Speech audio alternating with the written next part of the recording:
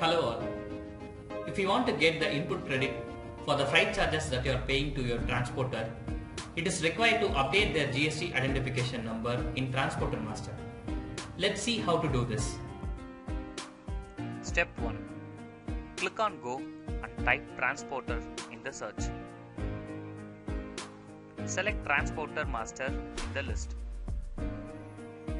Now, Step 2. Choose your transporter by clicking on Edit and select the required transporter. Search for GST tab in the master and click on it. Type the transporter's GST identification number in the field present.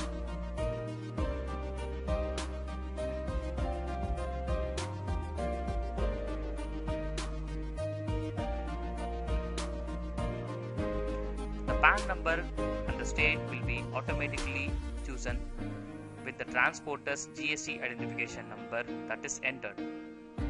Now save it. I hope you have made the entries for the Transporter Master and GoFrugal on Puzzle. The next video will be based on how to update your branch GST identification number in the application. If you don't have any other branches, you can skip that and go to the last video on Item Master Update. Kindly download and install MyGoFrugal for further updates on GST.